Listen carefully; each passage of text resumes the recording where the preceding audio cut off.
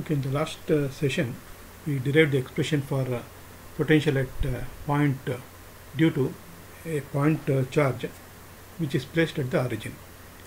So here uh, we have the charge q which is placed at the origin and the potential at point P due to this charge q at the origin is given by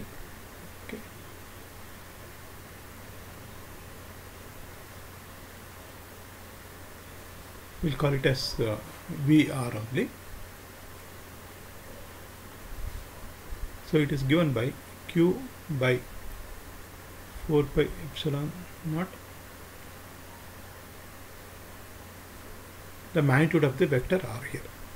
So here uh, we have to remember that uh, this is the distance between the source charge Q and the point P at which we are determining the potential.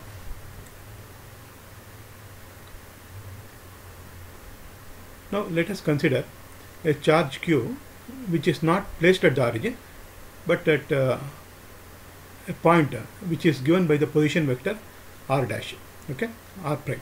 So here uh, and again we the potential at point p which is given by the position vector r here is given by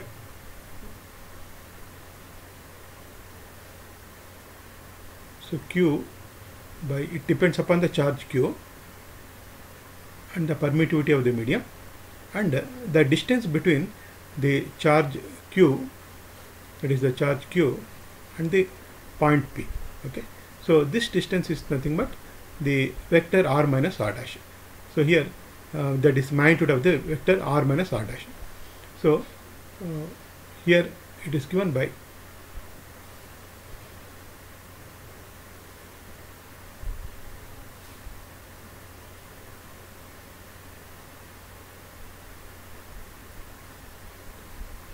So this is the we have to remember that this is the distance between the charge q and the point p.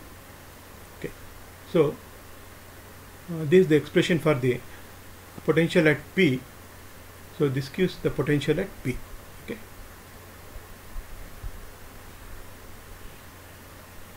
at p, which is described by r. Okay due to a charge q. So the charge q is at r prime. Okay, and uh, okay. So this is the expression for the potential at point P. Now let us consider another case that is where we have number of point charges and uh, the potential at point P due to this uh, different uh, charges q1 which is located at R1 prime, Q2 which is located at R2 prime. And then we have uh, similarly we have n number of charges. And here Qn is uh, located at Rn, Rn uh, prime. And then uh, we need to determine the potential at point P which is uh, described by R. Okay, so here we can make use of superposition of potential that is principle of superposition of potential we can use.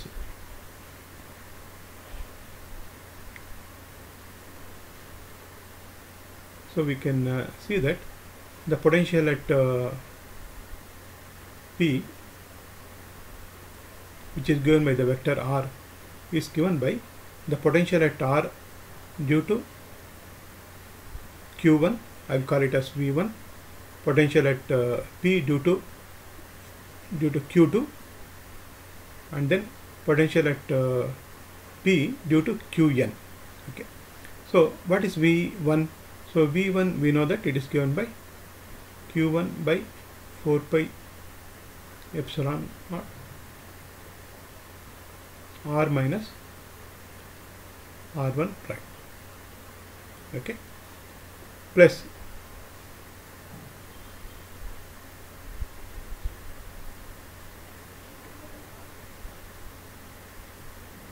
So plus uh, we can have Q2 by 4 pi epsilon naught r minus r2 prime. Similarly, the potential due to charge qn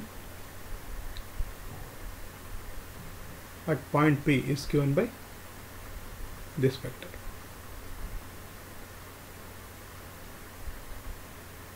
Or we can write it as by taking the factor 1 by 4 pi epsilon naught outside, we can write it as q1 by r minus r1 prime plus q2 by r minus r2 prime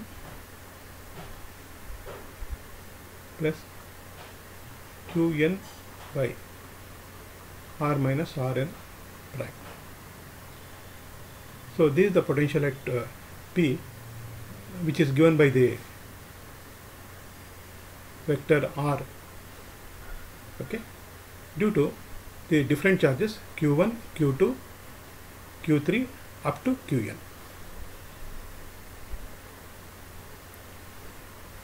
okay. now let us consider the potential at uh, point p due to uh, continuous charge distribution so let us consider now a volume charge distribution as shown in this figure. So this is a volume charge distribution and here the volume charge density is uh, given by rho v. Okay and rho v may be varying from point to point. And uh, we need to find out this is the origin okay? And we need to find out what is the, the potential at point p uh, which is again given by the vector r. Due to this enter continuous charge distribution that is volume charge distribution in this case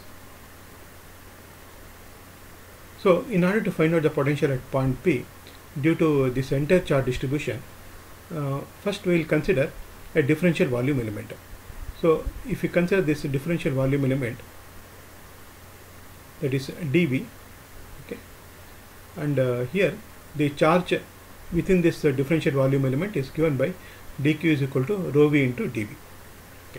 And uh, this uh, dV is uh, is given by the vector r r prime. Okay? So this r prime will gives the location of the volume element. Maybe we'll call it as dv dash. Okay? Because to differentiate between uh, the source and uh, the test part we can use this notation dv prime here. So the potential at p due to this uh, differential charge dq is given by sorry dq by 4 pi epsilon r minus r prime. And dq is given by rho v dv dash 4 pi epsilon r minus r prime. So this is the expression for the potential at uh, p due to the differential volume element that is charge which is present within this differential volume element. That is due to dq only. So in order to get the potential at uh, p uh, due to this entire charge distribution we need to integrate this dv throughout this volume so here it is given by rho v dv prime by 4 pi epsilon naught r minus r prime and this integration is carried out throughout the volume charge distribution. So this is the expression for the potential at uh, point P which is given by the vector r uh, due to the volume charge distribution. Now let us consider the surface charge distribution which is uh, given by uh, this uh, here the surface charge density is given by rho s coulomb per meter square. So again as in the previous case we can consider a differential surface element here let's call this as ds prime and the charge which is present here is given by dq sigma s ds uh, prime. And let's say this is the origin. And uh, this uh, charge is at r prime. And then we need to find out the potential at point P which again is given by the position vector r. So as in the previous case the potential at uh, P due to this uh, differential charge dq is uh, given by dq by 4 pi epsilon naught r minus r prime or it is given by sigma s ds prime by 4 pi epsilon naught r minus r prime. So in order to determine the total potential at point P due to this entire surface charge distribution S, we need to integrate the above expression. In this case it is surface integration. So it is given by surface integral of sigma s ds prime by 4 pi epsilon naught sorry. R minus r. Okay. So this is the expression for the potential at point p due to the surface charge distribution which is given here. Okay. So this is the surface charge distribution and uh, so due to this surface charge distribution we have the potential at point P and uh, this is the expression for the potential at point P due to this entire surface charge distribution. And similarly if we consider a line charge distribution so here uh, again which is given by charge density as rho, lambda L coulomb per meter and this length is uh, dl prime. So we can uh, similarly obtain the expression for the potential at point P uh, which again is given by some vector r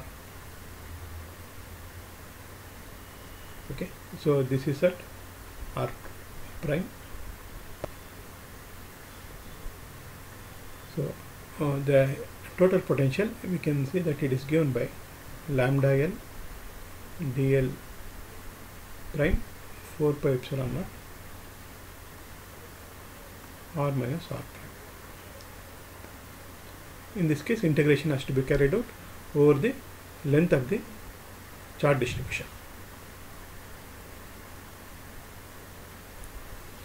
Okay, thank you.